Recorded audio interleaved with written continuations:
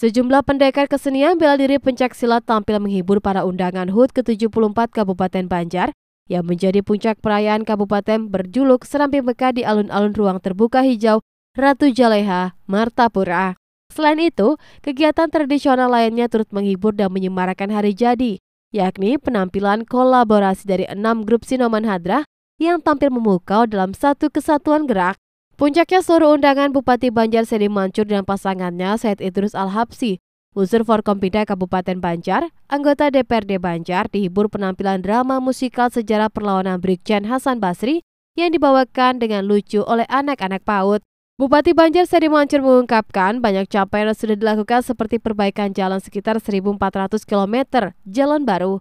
Namun di balik itu ada keresahan yang dirasakan yang keluhan warga terhadap oknum-oknum yang masih memanfaatkan kesempatan di unit pelayanan yang diharapkan segera menghentikan kegiatan yang merugikan warga. Tentu patut bersyukur dan berbangga uh, yang desa tertinggal dan sangat tertinggal cukup banyak sekarang sudah tidak ada nol dan bahkan bertambah maju mandiri begitu pula cakupan pelayanan kesehatan juga yang dulunya tidak sampai 98 persen jadi kesetaraan apa eh, keadilan untuk masyarakat seluruh Kabupaten Banjar dapat mendapatkan layanan kesehatan dan pemerintahan daerah juga alhamdulillah bisa tercapai konektivitas infrastruktur juga yang sangat luar biasa dalam tiga tahun hampir 98 persen dan juga jalan mantap kita juga dari dulu dari awal 60 persen sekarang sudah meningkat jadi 75 persen. Jadi capaian-capaian tersebut tentu bukan uh, puncak dari pembangunan, tetapi terus kita bisa melayani, mengabdi kepada masyarakat.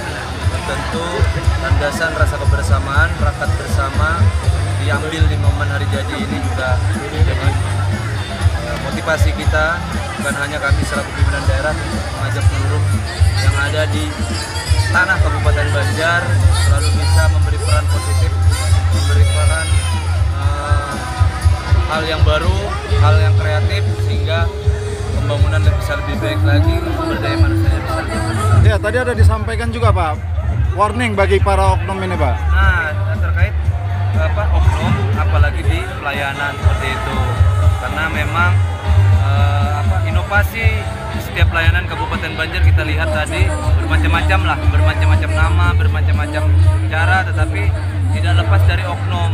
Makanya kami juga uh, tadi menyampaikan di hari jadi ini di pelayanan-pelayanan jangan sampai ada oknum.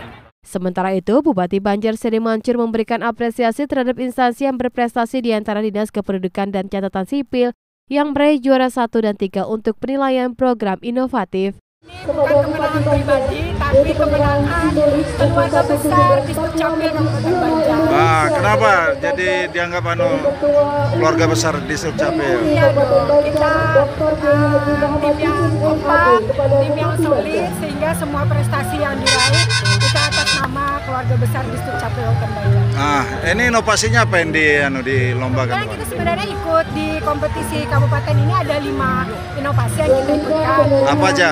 lima itu Star Banjar, Anies Laksanulu, Dialam Rismanis, Lapor Datu, dan Kita Desa. Alhamdulillah satu juara tiganya Manis. Ya. Ini kayaknya gugup tadi ya? Gugup kah tadi? Ah, suara. oh gitu ya? Enggak, tadi kayaknya kebentar tangannya tadi ya? Kenapa? Speechless lah, Alhamdulillah gitu. Ini kan lomba kompetisi inovasi udah tiga tahun diselenggarakan. Alhamdulillah di Sucapi setiap tahunnya juara satu gitu. Dan di tahun ini malah dapat dua juara gitu. Jadi kita wah speechless banget lah. Ke depannya tantangan Kabupaten Banjar semakin berat karena termasuk sebagai salah satu kabupaten penyangga bagi ibu kota Nusantara, sehingga harus mempersiapkan sumber daya manusia yang kompetitif. Taridesi Tompul, Duta TV, Martapura.